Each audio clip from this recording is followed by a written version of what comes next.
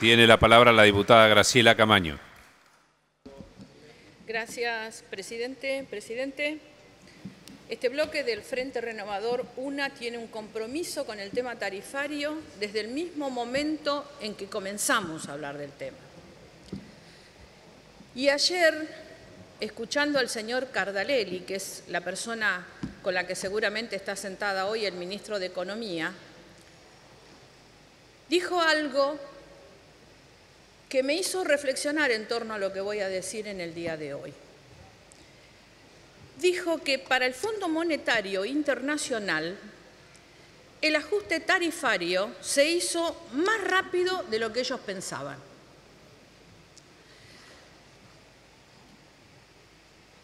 Entonces, señor presidente, aquí es donde viene la parte en la que yo le voy a pedir a usted poder leer mi discurso porque quiero desarrollarlo en dos partes.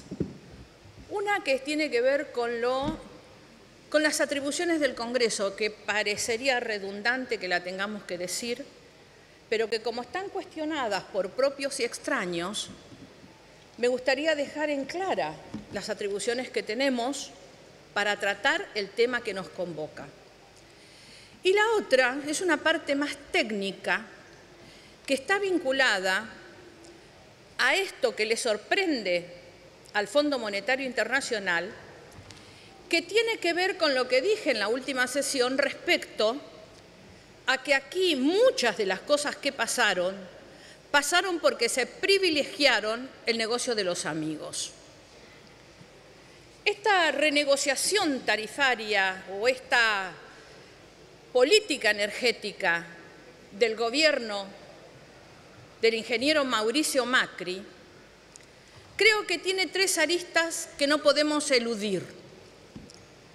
Una que ha sido una política altamente judicializada, o sea, señores, ha tenido la repulsa desde el comienzo. Y de hecho, no podemos hablar hoy acá de tarifas sin hablar del fallo de la Corte Suprema de Justicia. La otra cuestión es el ocultamiento, que quienes participamos en las audiencias públicas y quienes tienen un poco más de conocimiento en materia tarifaria y en los temas específicos del gas, de la luz, etcétera, advierten con mucha claridad la dificultad que puede llegar a tener un parlamentario para encontrarse con los datos que necesita para tener un diagnóstico preciso respecto a lo que hizo el Poder Ejecutivo. Y finalmente, señor presidente, el sustento. ¿Dónde se puso el Poder Ejecutivo? ¿Dónde se paró para relatar lo actuado? Indudablemente se paró en el espejo retrovisor y argumentó de manera desmesurada los errores del pasado mientras cometía errores mucho más importantes que los del pasado y ya lo vamos a ver. En cuanto a la constitucionalidad, presidente, el artículo 42 de la Constitución reformada en el año 94 no tiene controversia interpretativa ni tiene ambigüedad y establece el dictado obligatorio de los marcos regulatorios para los servicios públicos. Es más, avanza sobre los contenidos que tienen que tener los marcos regulatorios y establece que los usuarios de servicio tienen derecho a la protección de su salud, seguridad e intereses económicos a una información adecuada y veraz, a la libertad de elección y a un trato equitativo y digno.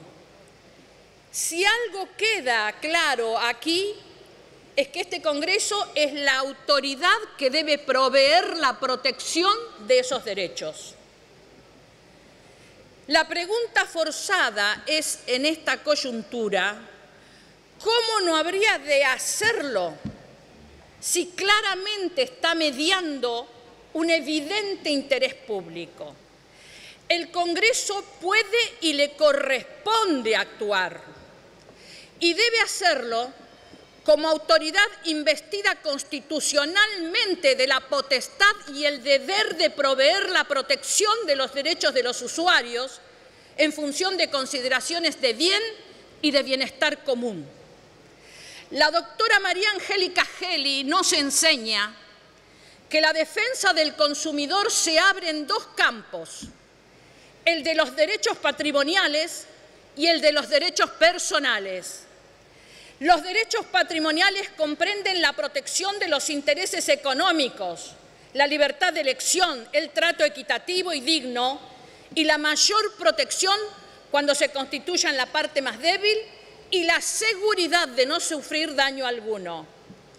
Los derechos personales abarcan la protección a la salud y a la seguridad de no sufrir menoscabo en ella. Y añade esta prestigiosa constitucionalista, ligado a ambos, el derecho a una información veraz, adecuada, como resguardo de unos y otros derechos, algo que todo este proceso no ha tenido.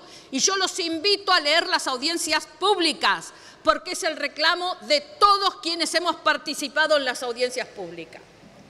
La potestad de establecer los marcos regulatorios de los servicios públicos de competencia nacional previstos en la ley suprema comporta, sin más, aceptar que sea la ley la que establezca las definiciones y la que prescriba las reglas que van a regir a uno de los aspectos comprendidos dentro de aquellos derechos y que hace al objeto a regular, que son las tarifas.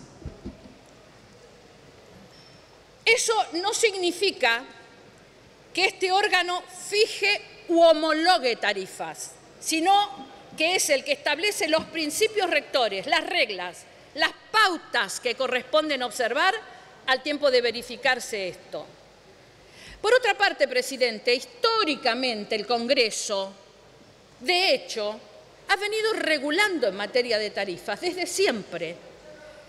La vieja ley de ferrocarriles, la 2873, ley 2873, que incluso utiliza esa locución que es tan familiar por estos días de tarifas justas y razonables, ya fijaba la potestad del Congreso de la fijación de tarifas. Y desde ese entonces, este temperamento se mantuvo inalterable, de modo de permitirnos advertir, como mucho tiempo después lo hizo la 23696, la Ley de Reforma del Estado, en los artículos 57 y 58 con respecto a la Ley de Concesiones Viales.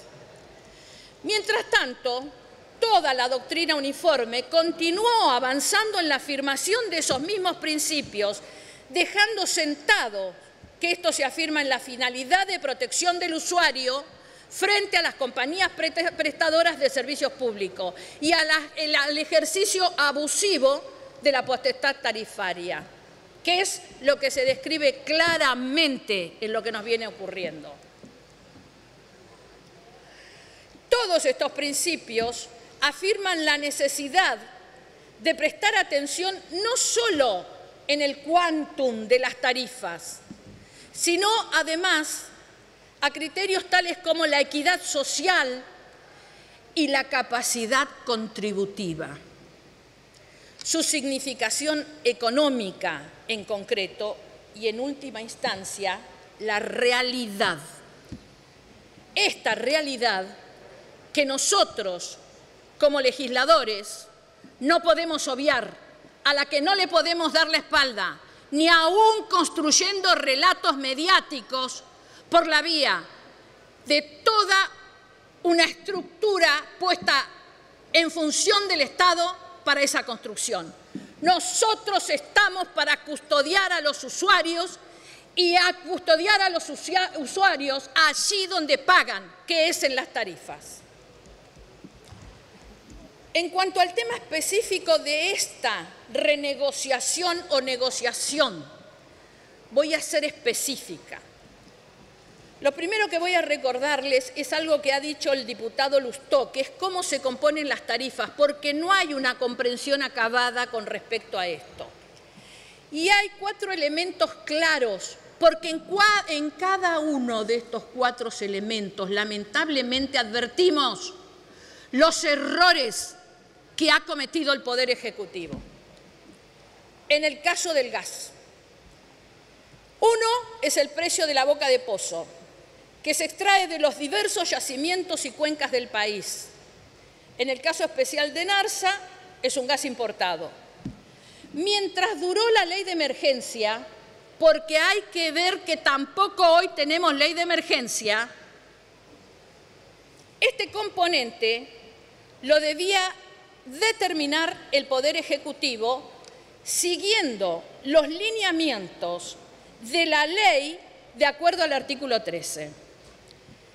El transporte, que es la tarifa que cobran los transportistas a las distribuidoras, que es el componente que regula el Enargas por la ley 24076, pero debiendo observar las actas de renegociación de las licencias, de acuerdo a lo que establece la ley de emergencia en el artículo 9. Recalco esto, había que mirar, señor presidente, las actas de renegociación. La distribución, que es el componente que se agrega dentro de la tarifa que, retribuyen a las distribuidoras sus margen de costos y ganancias por brindar el servicio público de abastecimiento de gas a los usuarios. Este componente está regulado por el Enargas, pero también debiendo observar las actas de negociación, de renegociaciones de las licencias, de acuerdo a lo que preveía el artículo 9. Y a esto hay que sumarle los impuestos nacionales, el IVA, los provinciales, ingresos brutos y las tasas municipales. ¿Qué dice el fallo CEPIS? Que es la línea directriz que le marca la Corte La política trazada por el Poder Ejecutivo en materia energética,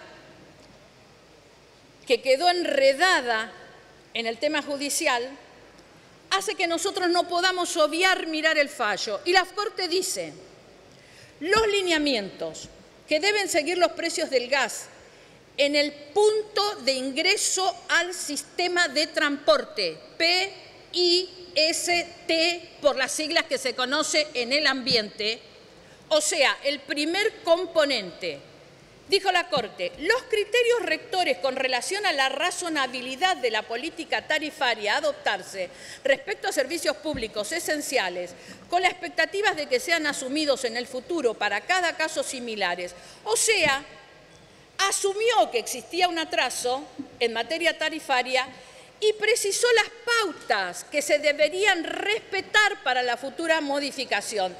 Dijo la Corte, es condición de validez jurídica, condición de validez jurídica, con base en el artículo 42 de la Constitución, el criterio de gradualidad, expresión concreta del principio de razonabilidad, y añade, la aplicación de dicho criterio permitiría la recuperación del retraso invocado y a la vez favorecería la previsión de los usuarios dentro de la programación económica individual y familiar. También acentuó la Corte los caracteres de los servicios públicos que el Estado debe respetar, continuidad, universalidad y accesibilidad. Acá quiero incorporar la observación general número 4 del Comité de Derechos Económicos, Sociales y Culturales de Naciones Unidas, que cuando nos habla de vivienda adecuada, nos dice que son las que tienen las medidas para garantizar que el porcentaje de los gastos de las viviendas sean en general conmensurados con los niveles de ingresos. ¿Qué hizo el Gobierno? La resolución 212 del 16 del Ministerio de Energía, si bien introdujo limitaciones a la facturación y ciertas cuestiones del gas correspondiente a lo que denomina el oficialismo tarifa social, presenta fuertes contradicciones e indicios de no observar los lineamientos dictaminados por la Corte Suprema de Justicia. Van los ejemplos que son claros y que son indiscutibles. Y les aconsejo a los diputados que tanto defienden a los funcionarios del Gobierno que tomen nota. El precio establecido para el gas en boca de pozo en esa resolución era y es el mismo precio en cada cuenca. Es decir, que cada cuenca tenía un mismo precio para todos los yacimientos de esa cuenca, sin considerar las particularidades de cada uno de esos yacimientos, ya sea por el tipo de gas a extraer, si era convencional, si era offshore, si era shell gas, y tampoco se tenían en cuenta los programas de inversión que hubieran. que se impusiese que el precio de gas en cada cuenca fuera el mismo para cualquiera sea el área que los produjera, imponía claramente de manera injusta e irrazonable excesivas rentabilidades para algunas empresas. Por ejemplo, que el gas que se produce offshore en los yacimientos Carinas, Aries, Vega, Pléyade, tenga el mismo precio que el gas convencional que se produce en el yacimiento San Sebastián de Isur, claramente demuestra que hay una rentabilidad excesiva e irrazonable ya que es conocido por todos en la industria que los costos, riesgos e inversiones para extraer gas de los yacimientos offshore son muy superiores a los yacimientos onshore convencionales. Por lo tanto, si el precio fuese el adecuado para remunerar el gas producido en las plataformas marinas, entonces implicaría que ese precio es por demás elevado para remunerar el gas que se produce costa adentro en los yacimientos convencionales, resultando esto una injustificada y excesiva transferencia de renta de los usuarios residenciales a los productores de gas, que debería ser claramente más barato, y esto es contrario al fallo de la Corte. Segundo, en la resolución del Ministerio de Energía no existía ni una exigencia, ni siquiera una mención a compromisos de inversión por parte de los productores, que estaban viendo incrementarse el precio de su gas en un promedio de 400%.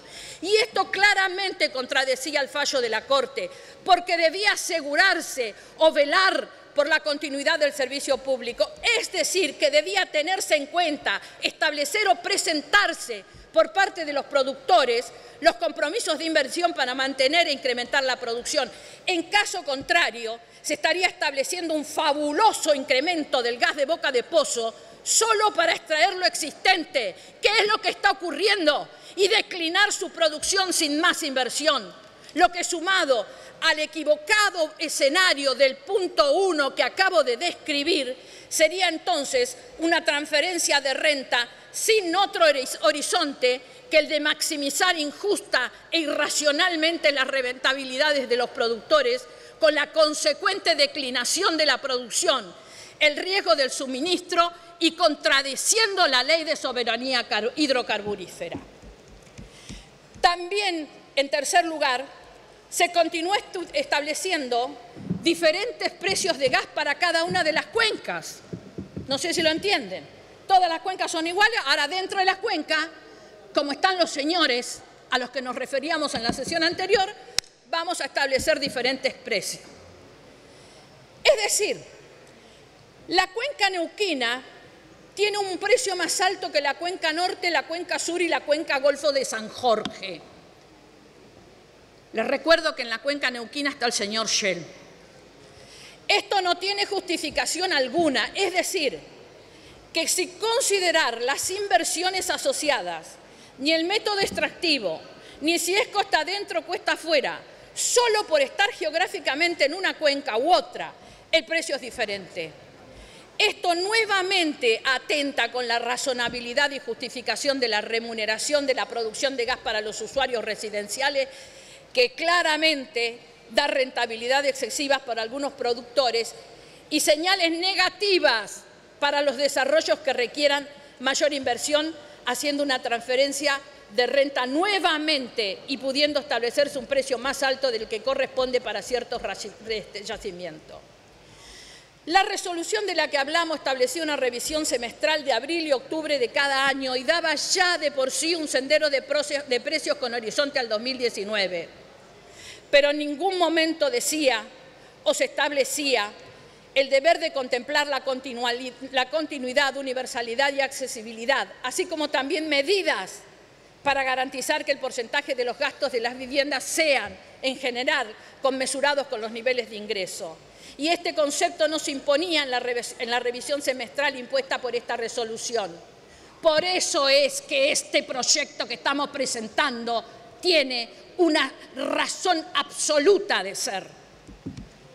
El corolario de esta política de fijación de precios en boca de pozo indefectiblemente terminó demostrando su no observación a lo indicado por la Corte Suprema de Justicia, ya que luego que no se prorrogara la ley de emergencia y donde los precios de venta del gas en boca de pozo debían surgir del libre juego de la oferta y la demanda, respetando la 24076, esto no sucedía.